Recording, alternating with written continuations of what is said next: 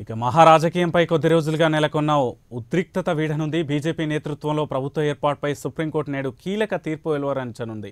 BJP నేతృత్వంలోని ప్రభుత్వ ఏర్పాటుకు ఫడ్నవీస్ను గవర్నర్ను ఆహ్వానించాలని సవాల్ చేస్తూ శివసేన కాంగ్రెస్ ఎన్సీపీ సంయుక్తంగా దాఖలు చేసిన పిటిషన్లపై వాదనలు విన్న ధర్మాసనం ఇవాళ ఉదయం పదిన్నరకు ఆదేశాలు ఇవ్వనుంది. అసెంబ్లీలో బలపరీక్ష నిర్వహించే అంశంపై సుప్రీంకోర్టు తన నిర్ణయాన్ని కూడా ప్రకటించనుంది.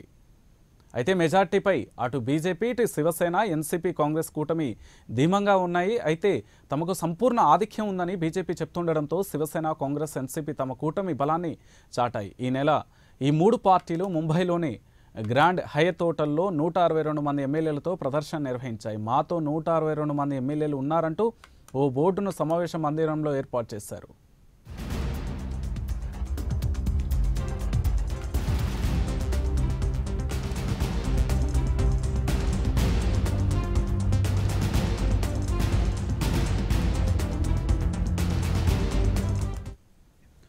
మహారాజకీయంపై కొద్ది రోజులుగా నెలకొన్న ఉద్ ఉత్కంఠ వీడనుంది. బీజేపీ నేతృత్వంలోని ప్రభుత్వ ఏర్పాటుపై సుప్రీంకోర్టు నేడు కీలక తీర్పు వెలువరించనుంది.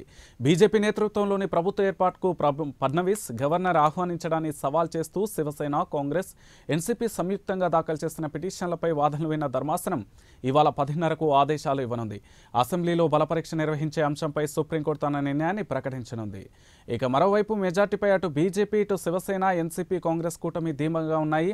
తమకు సంపూర్ణ ఆధిక్యం ఉందని బీజేపీ చెప్తుండడంతో శివసేన కాంగ్రెస్ ఎన్సీపీ తమ కూటమి బలాన్ని చాటాయి. ఈ మూడు పార్టీలు ముంబైలోని గ్రాండ్ హయత్ హోటల్లో నూట అరవై రెండు మంది ఎమ్మెల్యేలతో ప్రదర్శన నిర్వహించాయి. మాతో నూట అరవై రెండు మంది ఎమ్మెల్యేలు ఉన్నారంటూ ఓ బోర్డును సమావేశ మందిరంలో ఏర్పాటు చేశాయి.